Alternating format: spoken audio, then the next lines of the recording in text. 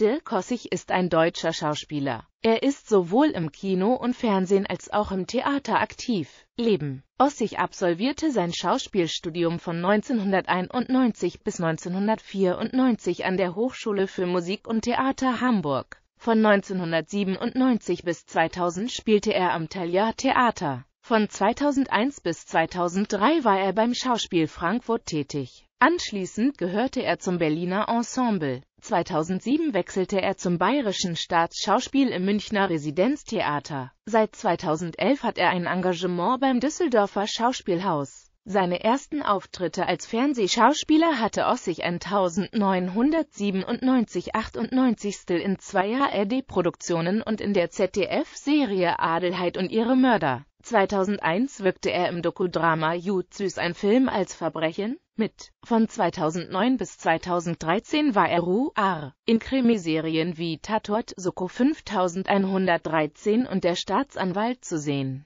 2015 spielte er eine Nebenrolle in der Vox-Serie Club der Roten Bänder. In der Literaturverfilmung Das Tagebuch der Anne Frank, die im Frühjahr 2015 gedreht wurde und am 3. März 2016 in die Kinos kam, spielt Ossig den Gemüsehändler Hendrik van Höwe, der die im Amsterdamer Hinterhaus versteckten Juden belieferte. Filmografie 2016 Das Tagebuch der Anne Frank